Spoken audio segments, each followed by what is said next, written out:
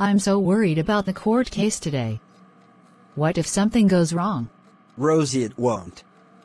There's no way that Linda and Lydia will get away with what they have done. All we have to do is give statements. The judge will then give the sentencing. I suppose so. I'm so glad I have you here to hold me together. Right back at you. Come on.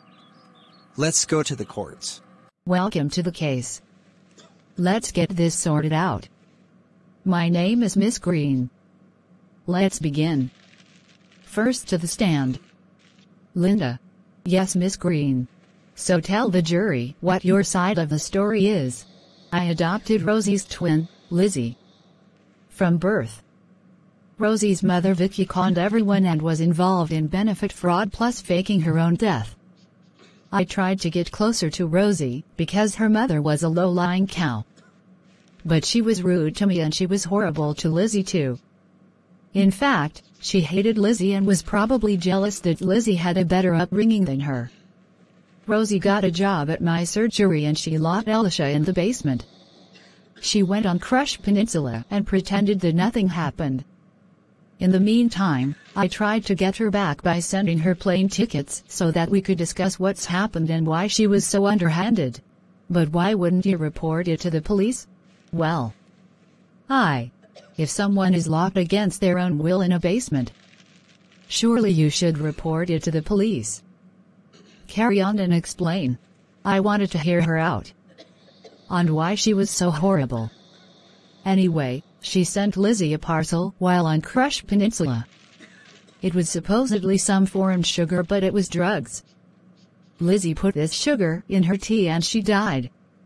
Rosie faked her own death and funeral and had Lizzie in her coffin. Because she hated her. And then she had the audacity to blame it on me. I mean how sick is that? So when she returned I then phoned the police and got her sent to prison. Thank you very much Linda. Next to the stand. Rosie. Miss Green. You have to believe me. What Linda said is all lies.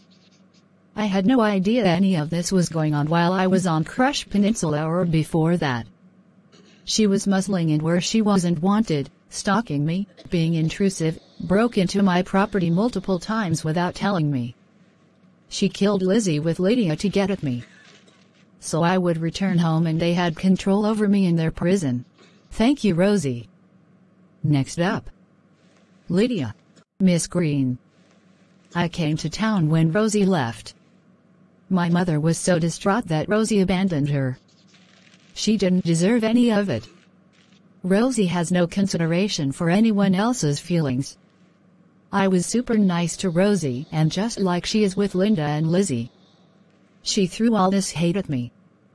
Being here is totally unnecessary. Send her back to prison where she belongs. Bit? Okay next up we have Scott to the podium. Okay so what's happened to you Scott? I was brought here by Linda from South Africa just before she met Rosie. I was locked in her prison. She brought some of my old friends over from there and her diary stated that she experimented plastic surgery on them.